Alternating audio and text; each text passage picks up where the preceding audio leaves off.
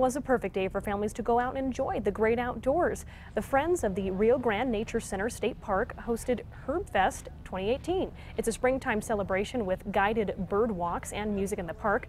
Various herbs, plants, and crafts were also on sale.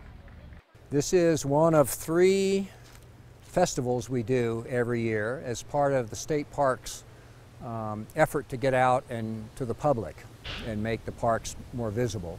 And no worries if you missed out on today's fun because Herb Fest continues tomorrow from 8.30 to 4.